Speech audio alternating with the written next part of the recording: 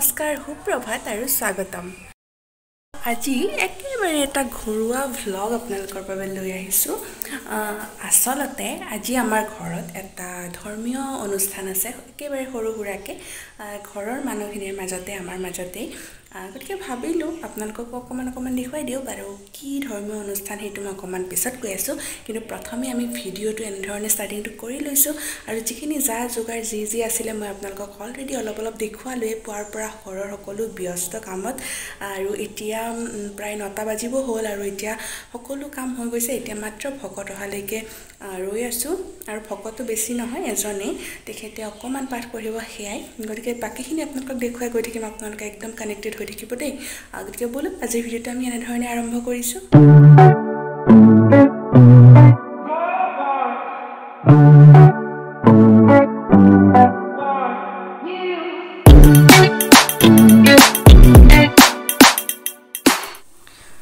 ভকতজন আহি পালেহিয়েই আৰু সেইবাবে মই তেওঁৰ বাবে প্ৰথমে একাপ একেবাৰে সাধাৰণভাৱে চাহৰ যোগাৰ কৰিছোঁ।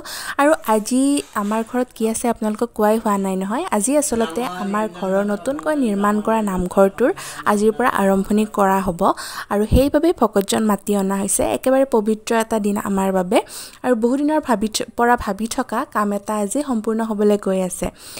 গতিকে সেইকাৰণে ভাবিছোঁ আপোনালোককো দেখুৱাওঁ। আৰু লগতে আজি এই ভিডিঅ'তে মই আলোচনা কৰিম আচলতে মন্দিৰ বা নামঘৰসমূহ ঘৰৰ কোনটো দিশত হ'ব লাগে আৰু আমাৰ নামঘৰটোনো ঘৰৰ কোনটো দিশত নিৰ্মাণ কৰা হৈছে এই গোটেইখিনি কথা। গতিকে ভিডিঅ'টো একেবাৰে স্কিপ নকৰাকৈ চাই থাকিব।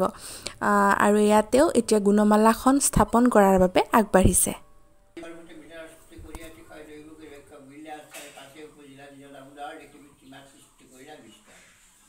উপৰি জন্মৰ কথা নাৰায়ণে কৈলা কংস ভয় বসুদেৱে উত্তম আনন্দ কৰাইলা সকল দৈত্য বলি বেৰা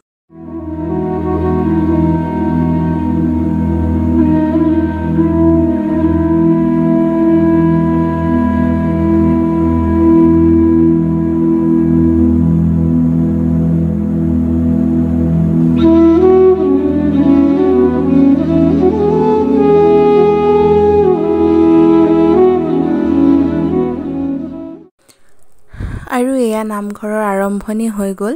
প্ৰথম গছি চাকি আমাৰ নতুন নামঘৰটোৰ।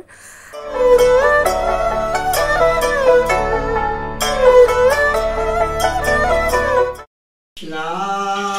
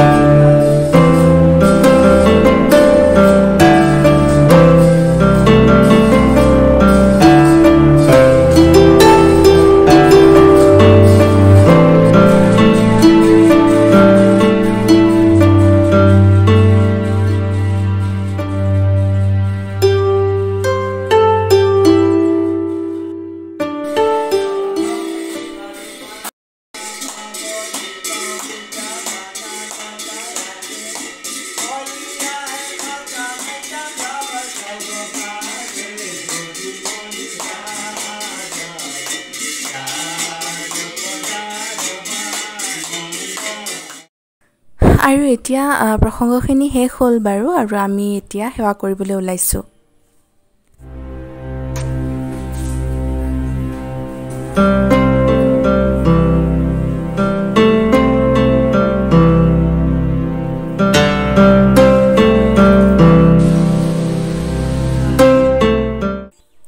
আৰু এতিয়া প্ৰসাদ বিতৰণিবোৰ হৈ গ'ল আৰু মই এতিয়া এসাঁজ প্ৰসাদ আমাৰ ওচৰৰ বাইদেউহঁতৰ ঘৰলৈ দিবলৈ গৈ আছোঁ।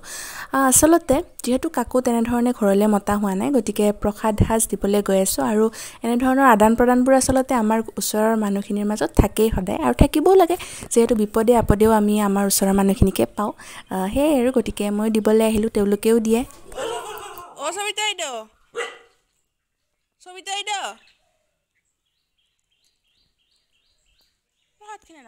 গুড ইভিনিং আৰু গোটেইখিনি কাম খুব ধুনীয়াকৈ কেতিয়াবাতে হৈ গ'ল আৰু মই কিন্তু ভিডিঅ'হে নকৰিলোঁ। ভাত পানী খাই মেলি অকণমান শুলোঁ যাৰ কাৰণে ভিডিঅ'টো এতিয়া কণ্টিনিউ কৰিছোঁ। এতিয়া চাৰে চাৰি বাজি গ'ল পাঁচেই বাজিব হ'ল। সেইকাৰণে ভাবিলোঁ যে অকণমান ভিডিঅ'টো কণ্টিনিউ কৰোঁ আৰু খুবেই গৰম পৰিছে আজি আচলতে। বাৰু যি নহওক আজি খুব ধুনীয়াকৈ কামখিনি হৈ গ'ল আৰু বহু দিনৰ আশা এটা হ'ল সম্পূৰ্ণ।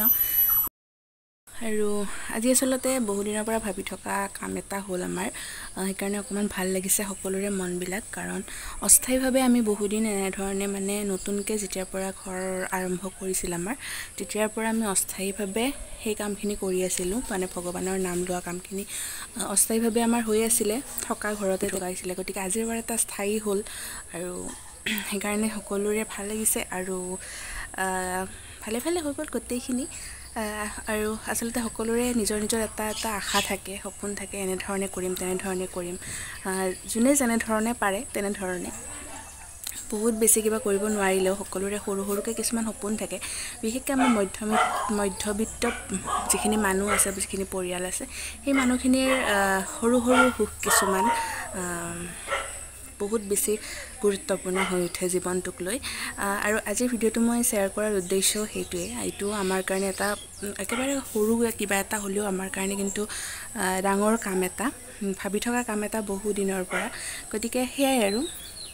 গতিকে আজি গোটেইখিনি হৈ গ'ল আৰু এতিয়া ভাবিছোঁ মা দেউতাৰ অকণমান মনৰ মনৰ ভাৱখিনি লৈ লওঁ। কেনেকুৱা তেওঁলোকৰ মনোভাৱ বৰ্তমান তেওঁলোকৰ কেনেকুৱা লাগিছে ইমান দিনৰ পৰা ভাবি থকা কাম এটা হৈ উঠিছে। গতিকে ব'লকচোন তেওঁলোকে কি কয়? অকণমান শুনো। আমাৰ এয়া ঘৰৰ যিটো আমি থাপনা পাতিলোঁ আজি সাধাৰণভাৱে এটা নামঘৰ সজাই থাপনাখন পাতিলোঁ। এজন ভকত বান্ধৱক শিলপুতাৰ ভকত বান্ধৱক মাতি আনি তেওঁৰ দ্বাৰাই আমি নিয়মিক যিখিনি কৰিব লগা আছিল সেইখিনি কৰি আজি থাপনাখন পাতিলোঁ। আৰু থাপনাখন পাতি সঁচাই খুব এটা শুদ্ধ মনোভাৱ এটা আছে আৰু বহুদিনৰ পৰা এইটো কৰাৰ কাৰণে চেষ্টা কৰি আছিলোঁ যে সেই কামটো হৈ তাত সঁচাকৈয়ে আজি এটা আনন্দমুখৰ পৰিৱেশ আৰু মোৰো মানে খুব ভাল লাগি মনটো আনন্দিত হৈ উঠিছে। তুমি কেনে পালা? কি ভাবা? তুমি কি লাগিল? তোমাৰ কেনে লাগিল? ভালে লাগিল। বহুত দিনৰ পৰা আধৰুৱা হৈ থকা কাম এটা সম্পূৰ্ণ হ'ল। বহুত ভাল লাগিল। আৰু এতিয়া ভাবিছোঁ আপোনালোকক নামঘৰটো থুলমূলকৈ দেখুৱাই দিওঁ। একেবাৰে বস্তুবিলাক চিজিল কৰা হোৱাই নাই যিহেতুকে আৰম্ভণি কৰা হৈছেহে। হ'লেও ভাবিছোঁ থুলমূলকৈ দেখাই দিওঁ। একেবাৰে সাধাৰণভাৱে কৰা হৈছে নামঘৰটো। বহুত বিশেষ জাক জমকতা একো নাই তেনেকুৱা ধৰণৰ। একেবাৰে সাধাৰণ আৰু নামঘৰ তেনেকুৱা হ'লেই যিহেতুকে ভাল লাগে। আৰু কাষেৰে কেইখনমান বস্তু থ'ব পৰাকৈ চাজা টাইপৰ বনাই থোৱা হৈছে। যিহেতু নামঘৰত যথেষ্টখিনি বয় বস্তুৰ প্ৰয়োজন হয় গতিকে সেইখিনি যাতে ভালদৰে ৰাখিব পৰা যায় তাৰ বাবে এইখিনি ব্যৱস্থা কৰি লোৱা হৈছে। আৰু এই বস্তুটো মই আপোনালোকক অকণমান দেখুৱাব বিচাৰিছোঁ। এই যে পাতিকেইখন দেখিছে একেবাৰে সৰু সৰু মই আপোনালোকক পাৰি দেখুৱাই দিছোঁ। এইকেইখন একেবাৰে আমি সৰু থকাৰে। চাওকচোন। চাইজটোও সৰুৱে হয় বাৰু বহুত বেছি ডাঙৰ নহয়। আমি একেবাৰে সৰুতে এনেকুৱা ধৰণৰ দুখন আছিলে আমাৰ বা আৰু মোৰ আৰু আমি তাত বহি নামঘৰত মানে প্ৰাৰ্থনা গাইছিলোঁ পুৱা গধূলি। সেই দিনবোৰ খুব মনত পৰে আৰু এনেকুৱা বহুত কেইখন আছে যাতে ভকত বান্ধৱসকল য'ত যেতিয়া আহিব তেতিয়া যাতে তেওঁলোকে বহিব পাৰে নাম প্ৰসংগ কৰিব পাৰে খুব ধুনীয়াকৈ তাৰ বাবে আৰু এনেধৰণে সেইবাবে ৰাখি থোৱা হৈছে। আৰু এতিয়া আহিছোঁ আচলতে নামঘৰ ঘৰৰ কোনটো দিশত হ'ব লাগে সেই বিষয়ে ক'বলৈ। একেবাৰে প্ৰপাৰ ডাইৰেকশ্যনটো হৈছে নৰ্থ ইষ্ট ডাইৰেকশ্যনটো যিহেতু আমি সকলোৱে জানো যে চাৰিটা ডাইৰেকশ্যন থাকে আৰু তাৰে কৰ্ণাৰ কেইটালৈ মুঠ আঠটা ডাইৰেকশ্যন থাকে। আৰু তাৰে নৰ্থ ইষ্ট যোনটো কৰ্ণাৰ থাকে সেই কৰ্ণাৰটোত নামঘৰ হ'লে খুব ভাল বুলি বাস্তুমতে কোৱা হয়। আৰু সেই অনুসৰি আমাৰ নামঘৰটো সেইটো ডাইৰেকশ্যনতে ৰখা হৈছে অৰ্থাৎ উত্তৰ পূব যোনটো কোণ থাকে সেই কোণটোত। গতিকে ঘৰৰ নামঘৰ বা মন্দিৰৰ বাবে বেষ্ট কৰ্ণাৰ বা মানে একেবাৰে ভাল দিশটো হৈছে উত্তৰ পূব দিশটো বা নৰ্থ ইষ্ট যোনটো কৰ্ণাৰ সেই কৰ্ণাৰটো আৰু যদি এই কৰ্ণাৰটোত আপোনালোকৰ মন্দিৰ বনাবলৈ অসুবিধা আছে তেনেহ'লে তাৰ উপৰিও আৰু কেইটামান দিশ আছে। সেই বিষয়ে আমি পিছত ভালদৰে আলোচনা কৰিম। কাৰণ আজি যদি সেইবোৰ আলোচনা কৰিবলৈ যাওঁ তেনেহ'লে ভিডিঅ'টো বহুত বেছি দীঘলীয়া হৈ যাব। গতিকে আজিৰ ভিডিঅ'টো ইমানতে সামৰণি মাৰিছোঁ। পুনৰ লগ পাম এটি নতুন ভিডিঅ'ৰ সৈতে অতি সোনকালেই। তেতিয়ালৈকে সকলো ভালে থাকক সুস্থ থাকক। আৰু ভিডিঅ'টো এতিয়ালৈকে চাই থকাৰ বাবে ধন্যবাদ।